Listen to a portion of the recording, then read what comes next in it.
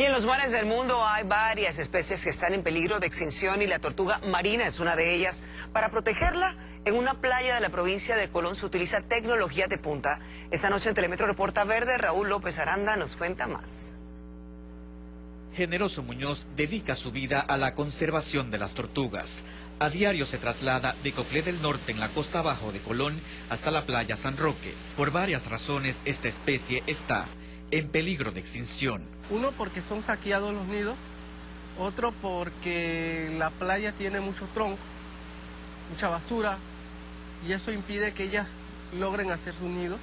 El proyecto de Generoso es apoyado por el Plan de Monitoreo de Tortugas Marinas que impulsa Minera Panamá. Para protegerlas, la compañía ha invertido en tecnología de punta. Instalamos un transmisor satelital en una tortuga verde juvenil esto nos va a permitir eh, determinar las rutas migratorias de esta tortuga. Nosotros tenemos un programa que cada dos horas nos va a brindar la posición geográfica exacta de esta tortuga. Es el proyecto de conservación más ambicioso en la historia del país.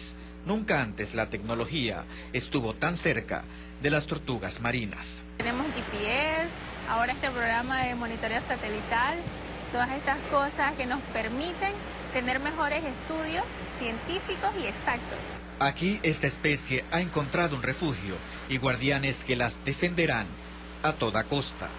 Raúl López Aranda, Telemetro reporta. Interesante reportaje de Raúl López Aranda. Bueno, y de inmediato les ofrecemos Ñeque Noticias.